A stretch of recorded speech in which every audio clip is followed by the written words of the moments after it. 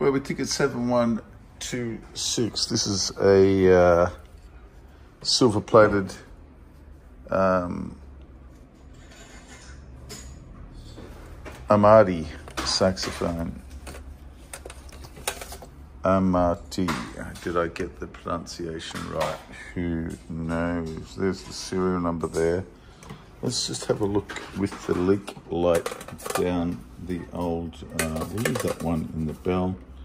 We'll put this leak light on this guy here. Sorry about the rubbish video here. We've got uh, issues with the, um, the stacks, as we can see.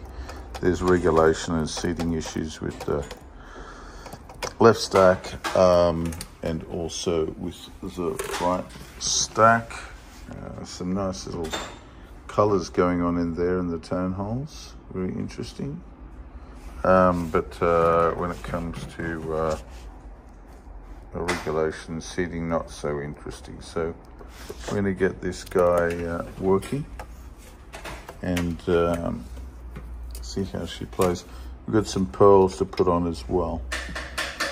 Um, and we'll get this C and these bell keys uh, seated and regulated as well.